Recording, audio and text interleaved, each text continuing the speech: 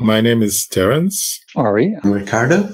Hi, well, yeah, I'm uh, Moem. The, the internet knows me as Moem. Name's Nigel. I'm Kugi. Uh, I'm from the Philippines. My name is Matthew. Uh, I am Mauricio Duarte. I am a software developer. I um, have worked in uh, upper secondary education in Norway. I work in retail. Self-employed gardener. I am a decorator slash sign writer. That means I paint signs, which is like really old fashioned. I'm a chambermaid and a DJ. well, inside the community. Inside the community. Inside the community. I mostly do uh, UX design. I am good at uh, at explaining stuff, so I can help people with uh, with interface questions. But I'm also asking a lot of questions myself because there's a lot of stuff that I'm trying to make happen and haven't found a way to do so yet. I'm pretty active uh, in the Telegram groups and forum. I originally started as a community manager for the UBports project. Before Ubuntu Touch, I would always have an Android device. I don't remember the exact device, but I was uh, using Android. Android. Android. It was some variant of Android. Oh, I've been trying to uh, to get away from Google, which, as we all know, is pretty hard.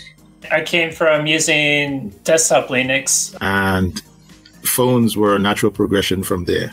I was there when they announced um, Ubuntu Touch on the phone during Jono's Q and A's. I was fascinated right away by the uh, the whole edge gesture thing. Uh, having the possibility of using a phone that gave me the freedom and the privacy. For me, it's the, it's the natural way to go. If I use Linux in my computer, I should be able to use uh, Linux on my phone, and that was my route. But I like it so much that I want it on all the things. And then Canonical um, dropped the project, and I was really sad. And we all kind of came together and was like, okay, yeah, okay, we'll we'll, we'll continue this on and see what we can do and, and try our best to to make sure this project continues. And I mean, it's been years, so I think we can say that was a success.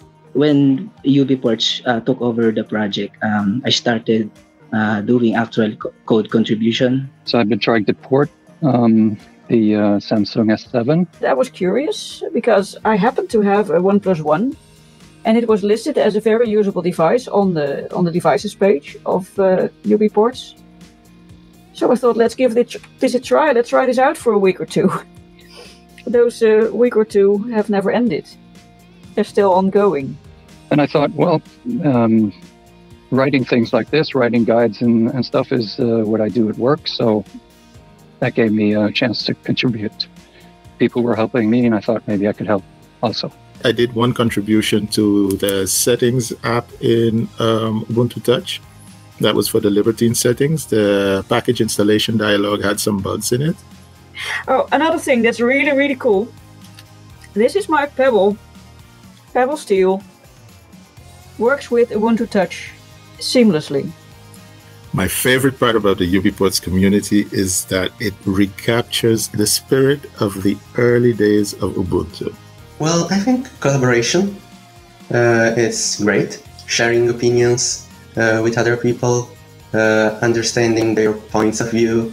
Uh, there are so many people that are doing their best effort to, to make this happen. And there's the excitement and wonder of something new. But at the same time, I really like the way it's a sort of a collective effort to to build something that um, everyone's uh, passionate about. It felt like you all are good people, so I wanted in on that. I, I, I just like the feeling of uh, creating ideas and then making them into uh, reality. It's something people do because they're they're interested in it. They, they're doing it in their spare time. They're um, devoting a lot of time to helping each other, and um, I just like the way that works. It's a thing that feels good, especially in times like these. Doing stuff together towards what I see as a better world. It's not so bad.